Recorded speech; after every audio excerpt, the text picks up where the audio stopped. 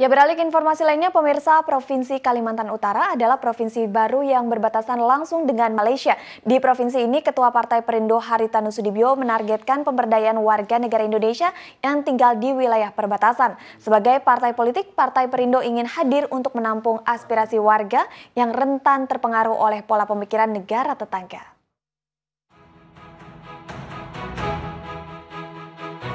Kalimantan Utara baru saja terbentuk provinsi termuda di Pulau Kalimantan ini memiliki garis perbatasan terpanjang dengan Malaysia. Kurangnya perhatian dari pemerintah pusat dan provinsi sebelum pemekaran menjadikan warga di wilayah ini terpengaruh oleh Malaysia.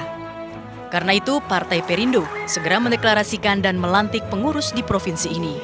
Ya, jadi karena ini wilayah perbatasan dan yang menyedihkan itu masyarakat di perbatasan itu mereka warga negara Indonesia tapi pola pikirnya itu Malaysia ya negara tetangga. Kenapa? Karena mereka nontonnya media-media Malaysia. Pejabat sementara Gubernur Kalimantan Utara Triyono Budi Sasongko berharap Partai Perindo bisa menjalankan fungsinya sebagai partai politik. Bahwa partai politik diharapkan bisa sebagai sarana komunikasi politik atau political communication, di mana partai politik harus mampu menyalurkan keanekaragaman pendapat dan aspirasi masyarakat dan mengaturnya sedemikian rupa. Selain melantik pengurus baru, Partai Perindo juga menggelar rapat konsolidasi partai.